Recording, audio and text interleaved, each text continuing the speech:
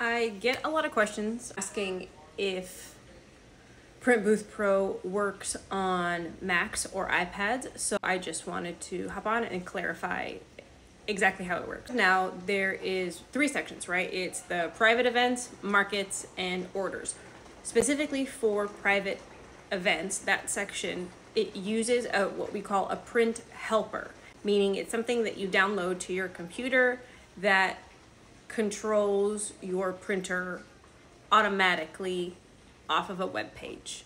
It's a little, mm, a little technical. Anyway, that print helper allows for you to auto print when you're working an event so that you're not having to check if the template is full. It will check for you if the template is full and then it will automatically send the template to print. As of now, it that feature does not work on Mac, but I am in the process of making that possible. Next question I get often is, does it work on an iPad? Yes, and I'm gonna show you exactly how that's done. There are a couple caveats. I'm, I'm working on making it better, but I'll explain everything in the, I'll show you. Please ignore the broken iPad. It's my kid's iPad and it has seen better days. But okay, here we're gonna go to a market and then I'll show you exactly how it works. All right, so we're gonna take a picture, uh, send it to print, and there you go.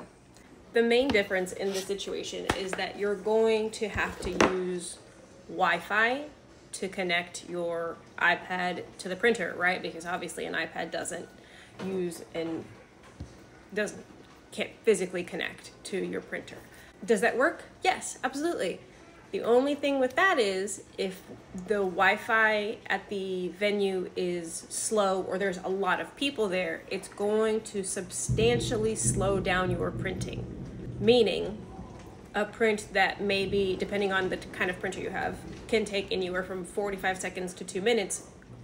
One of the very first events that I did, I was using Wi-Fi, it was a lot of people, and they were taking over five minutes to print a full sheet. So can you use an iPad?